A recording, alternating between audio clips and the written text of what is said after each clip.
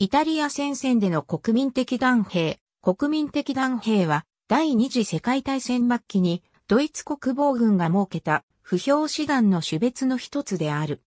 よく似た名称で同時期に存在した部隊の国民突撃隊とは別のものである。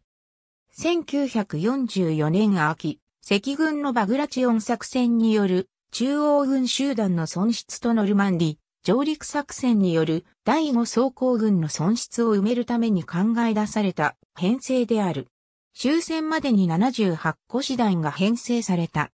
個々の師団の成り立ちは様々であり、戦闘で壊滅もしくは損害を受けた不評師団を母体としての実質的な再編成と言えるものもあり、また完全に新しい師団として編成されたものもある。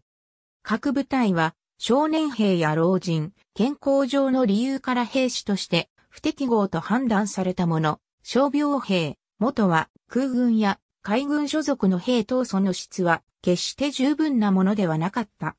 一般国民に精鋭部隊の代名詞である敵団兵の故障を冠した国民的団兵という名前は指揮公用を狙い、国粋主義とドイツの伝統的陛下を結合させたものである。度重なる激戦により、ドイツの人的資源は枯渇しつつあり、全戦線が崩壊の危機にある中で、早急な戦力の立て直しが求められた。このため、編成単位あたりの兵力、戦闘力に劣っても、師団として編成が完了している部隊が求められるようになった。ドイツ軍は、攻勢より防衛を重視するようになっていたこともあり、経験豊富な将兵により構成された連度が高く重装備の充実した少数の精鋭部隊よりも装備、経験に劣っていても少なくとも編成上は一個の部隊として完結、充足している多数の部隊が必要とされた。そこで通常の不評師団では9個大隊で構成されるものを国民的団兵師団では6個大隊で編成を行った。6個のうち1個大隊は機動予備となっていたが、自動車化は不可能とされ自転車で済まされていた。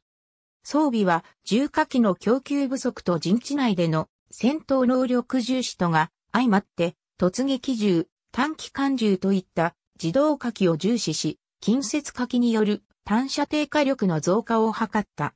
支援兵器に関しても迫撃砲程度のものが主体とされ、装甲兵器や銃砲といった重装備を保有することは度外視されていた。国民的団兵士団は、バルジの戦い、ジークフリート戦や東部戦線における防衛戦闘など、ヨーロッパ戦線の最終局面に投入された。